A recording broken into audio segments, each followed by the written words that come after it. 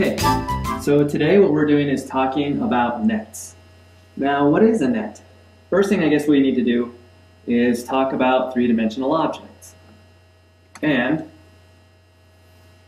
a net is a plane figure that can be folded up to form a solid.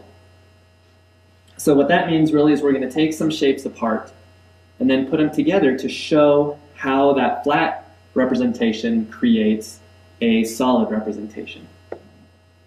So first thing we're going to do is take a look at a cuboid.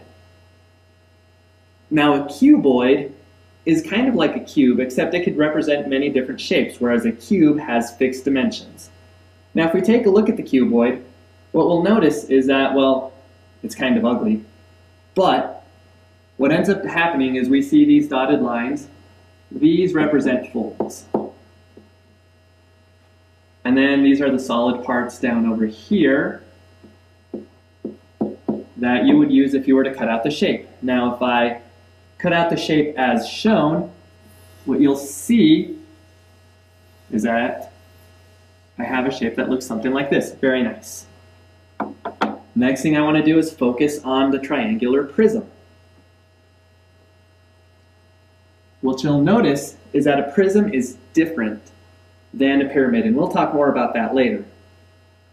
Maybe you might want to pay attention and take a look at the differences so when we talk about pyramids you'll be able to see. But you'll notice again the folds, and then the solid lines denote where you're going to cut. And we want to make sure we don't cut here. That would be bad.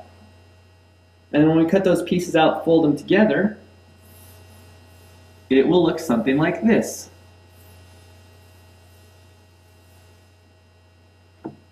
And if you're a Pink Floyd fan, it'll look something like this.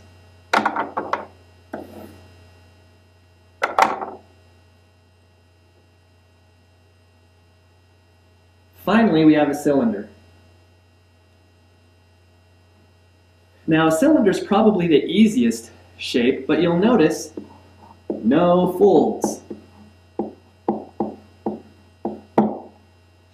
Mostly because you're cutting out all the pieces there, but you really need to be careful not to cut here.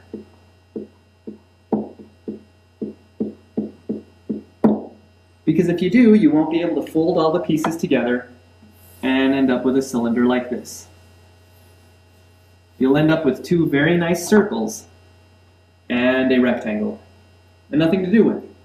Um, so that's it for nets. What we're going to do in a minute is talk more about how we can use this information as we progress through the lesson.